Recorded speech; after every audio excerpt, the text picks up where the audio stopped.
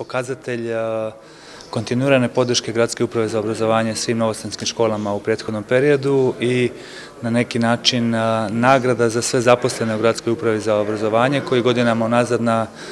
pravi način pružaju podršku kako bi se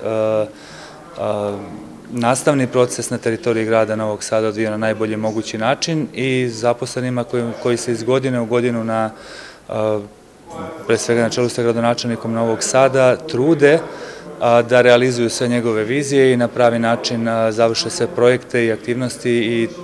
završe projekte na unapređenju nastavnog procesa u Novom Sadu. Svakako,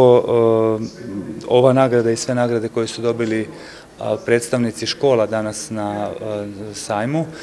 je nagrada za veliki trud i zalaganje koji su nastavnici i rukovodioci prosvetnih ustanova uložili u prethodnom periodu kako bi se na najbolji način prilagodili novonastaloj situaciji i realizovali nastavni proces u otežanim okolnostima prouzrokovanim virusom korona.